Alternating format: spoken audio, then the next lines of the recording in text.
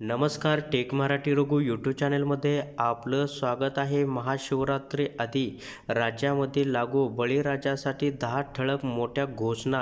होय या संदर्भामध्ये काय अपडेट आहे ते आपण सविस्तर पाहूया. म्हणून हा व्हिडिओ आपण शेवटपर्यंत पहा. याच्यामध्ये पी एम किसान योजना आणि इतर काही योजनांची माहिती मिळणार आहे.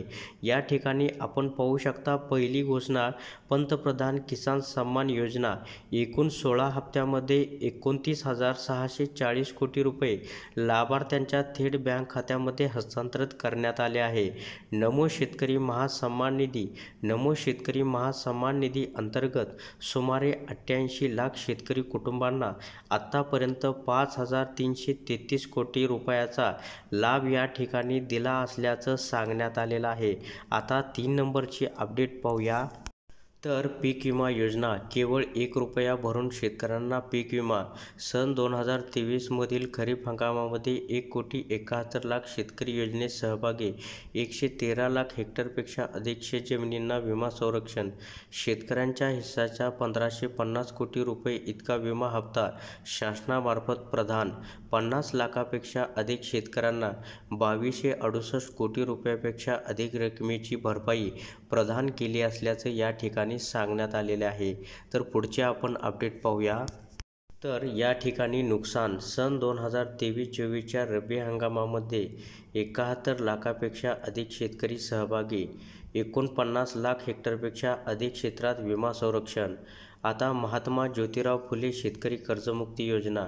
शेतकऱ्यांना प्रोत्साहन देण्यासाठी चौदा लाखापेक्षा अधिक शेतकऱ्यांच्या कर्ज खात्यामध्ये पाच हजार कोटी रुपयापेक्षा अधिक रकमेचे वितरण करण्यात आल्याचं सांगण्यात आलेलं आहे. तर पुढे आणखीन आपण सविस्तर पाहूया.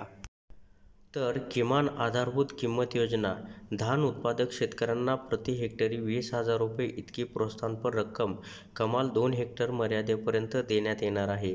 प्रधानमंत्री कृषी सिंचाई आणि बळीराजा जलसंजीवनी योजना एकूण एकशे अठरा प्रकल्पांना मान्यता या माध्यमातून पाच लाख पंचेचाळीस हेक्टर इतकी संयुक्त सिंचन क्षमता साध्य मुख्यमंत्री सौर कृषी वाहिनी योजना दोन हजार पंचवीसपर्यंत सुमारे सात हजार मेगावॅट क्षमतेची सौर ऊर्जा निर्माण करून किमान तीस टक्के कृषी वीज वाहिन्याचे सौरकरण करण्याचे उद्दिष्ट या ठिकाणी आखलेले आहे.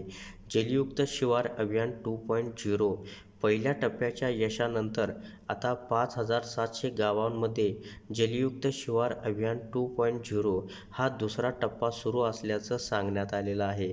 तर पुढे आणखीन पाहूया. तर अटल भूजल योजना अतिउपसा झालेल्या तीव्र व अंशतः तीव्र पाणलोट क्षेत्रातील तेरा जिल्ह्याच्या त्रेचाळीस तालुक्यामधील चौदाशे बेचाळीस गावामध्ये अटल भूजल योजना लोकसहभागातून सर्व अकराशे तेहतीस जलसुरक्षा आराखडे तयार अंमलबजावणीसाठी प्रगतीपथावर असल्याचं या ठिकाणी सांगण्यात आलेलं आहे. तर अशा प्रकारे शेतकऱ्यांसाठी या महत्त्वपूर्ण दहा ठळक घोषणा होत्या. अशा प्रकारच्या महत्त्वपूर्ण अपडेट जाणून घेण्यासाठी आत्ताच आपल्या टेक मराठी रघु यूट्यूब चॅनेलला शेअर व सबस्क्राईब करा.